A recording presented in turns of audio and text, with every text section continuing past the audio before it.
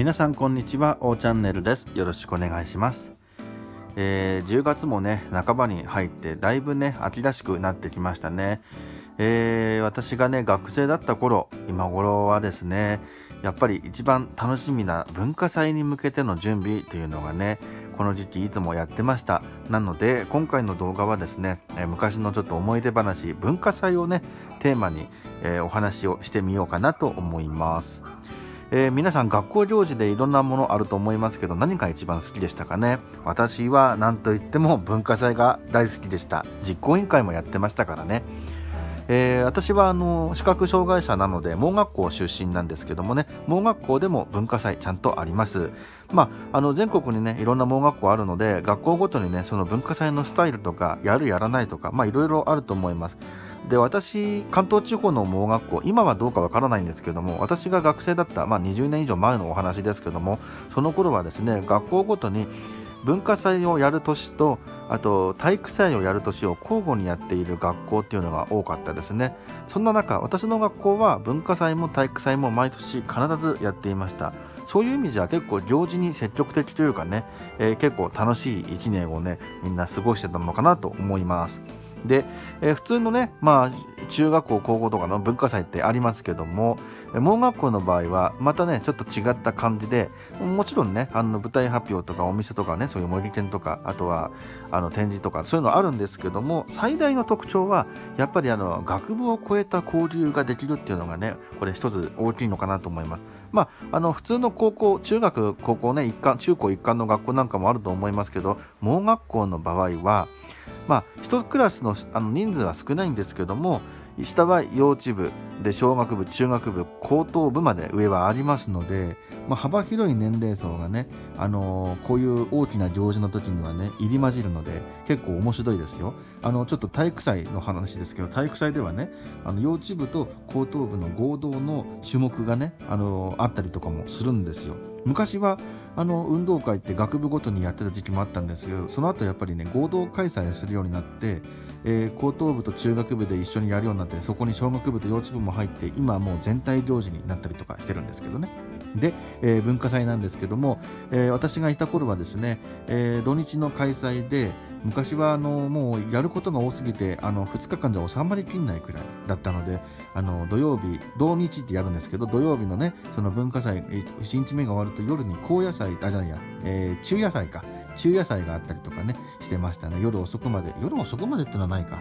夜暗くなるぐらいまであのー、なんかね舞台発表とかがあったりとかもして面白かったですよ。で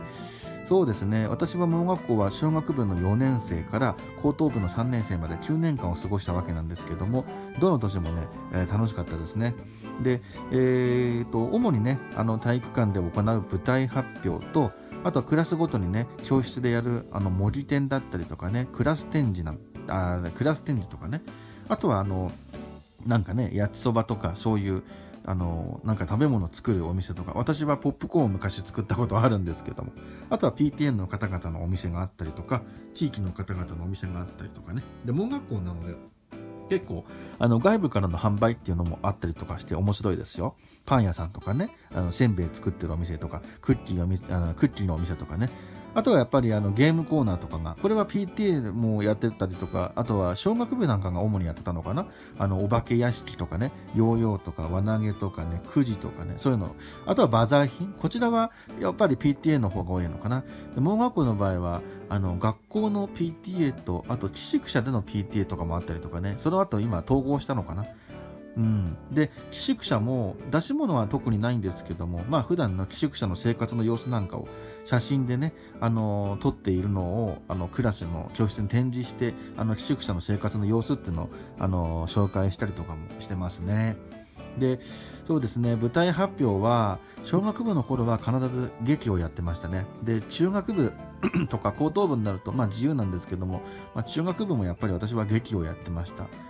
ていうか普通科も劇、あ高等部も劇やってたのかな ただ、私が一つ覚えてるのは、私が高校3年生だった時なんですけども、まあ劇なんですけども、あの、視覚障害者の鉄道利用についてというテーマでね、私があの台本を書いたっていうのが一つ大きな思い出ですね。シナリオを一から作ってね、あの、1部から3部までの3部構成にして、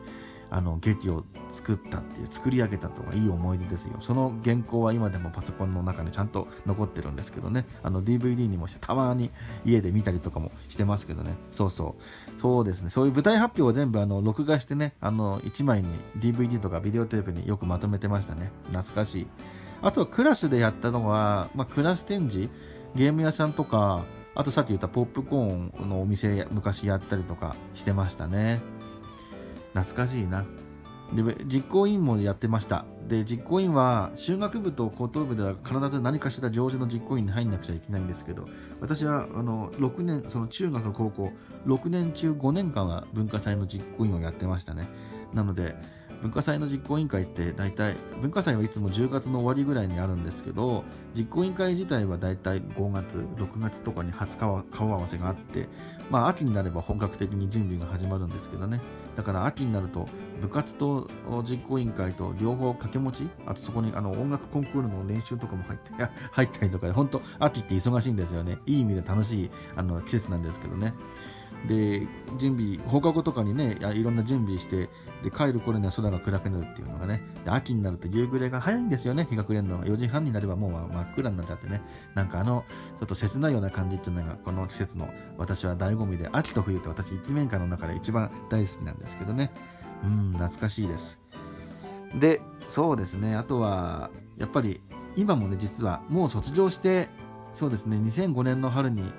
卒業してるのでもう1516年かになるんですけども今でもねあの毎年毎年あの文化祭には今度は逆にあの外部からの販売で行く立場としてお世話になってます。まあ昨年はちょっとねコロナの影響で文化祭は開催されませんでした。で今年は今年度はあの学部ごとにねあの外には公開しないで内部だけ学校内だけの平日開催で文化祭としてね学習発表会的な感じなのかな？開催するそうなので、まあ、今年も外部はないということなんですけどもまあ私は2007年ぐらいから毎年あの文化祭にはいつもお世話になってましてですね。で私がいつも作ってる鉄道関係のグッズをね売っています。いつもあのクリアファイル私がイラストを作って電車のイラスト作ってるんですけどそれをクリアファイルにしたりあとはシールにしたりあとはちょっとグッズでねマグネットとか輪ゴム掛けみたいなのとかあとは CD あのたまにねこの動画でも走行音をおかけしてますけど私が録音した電車の音をねあの走行音を CD にしていっぱいあの作ってるんですけどそれがやっぱりね文化祭だとと一番あの売れるチャンスなので。結構ねやっぱり視覚障害者の皆さんは、まあ、目が不自由な代わりに耳がねあのいいという私もそうなんですけどね。やっぱそうすると音がね敏感なので結構鉄道が好きな人って視覚障害者の中でも多いんですよね。そういう意味でやっぱりこの鉄道の CD っていうのはねやっぱりもってこいなのかなと思ってですね。もう作り始めてもう何年7年8年10年経ってないかな。結構長いんですけどまあおかげさまでね毎年あの目当てに買買いに来てくれる方もいらっしゃるくらいなのでね、私も嬉しい限りなんですけどね、まあちょっと昨年とか今年とかそういうのができないので、もし文化祭があればな、この YouTube も宣伝できるんですけどね、そうですね、まあまたそういう行事にね、あの外部の人もあの気兼ねなく参加できるようにね、早くコロナのあの収束を本当に祈りたいなと思っている次第です。はい。というわけでね、今日は文化祭、私が学校にいた頃のね、文化祭の思い出をちょっとね、えー、語ってみました。というわけで、今日の動画はこれで終わりにしたいと思います。ありがとうございました。バイバーイ。